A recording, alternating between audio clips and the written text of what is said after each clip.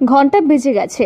উৎসবমুখী বাঙালিও কয়েকটা দিন পুজোর আনন্দে মেতে উঠতে শেষ মুহূর্তের প্রস্তুতি নিচ্ছে। এই আবহেই পুজো শুরু হয়ে গেল বটদলী বিধানসভা কেন্দ্রে একাধিক ক্লাবের পুজো। চতুর্থীতে মুখ্যমন্ত্রীর হাত ধরে উদ্বোধন হয়ে গেল একাধিক ক্লাবের পুজো মণ্ডপ। কোথাও মণ্ডপ তৈরির কাজ এখনও বাকি। কোনো কোনো জায়গায় প্রতিমার কাজে শেষ হয়নি। এদিন মোট দশটি পুজো মণ্ডপের উদ্বোধন করলেন মুখ্যমন্ত্রী।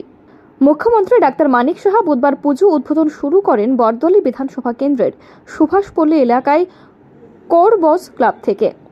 তারপর পর্যায়ক্রমে স্বামী বিবেকানন্দ ক্লাব, কল্যাণ সমিতি, Apanjan club, Nabadiganta, blood mouth, Netaji play forum, Chhatrabandhu এবং নয়নং বড়মালীপুর বিধানসভা কেন্দ্রের আজাদ হিন্দ সংঘের পুজো উদ্বোধন করলেন মুখ্যমন্ত্রী। এদিনে মণ্ডপগুলি কিছুক্ষণ ঘুরে দেখেন মুখ্যমন্ত্রী।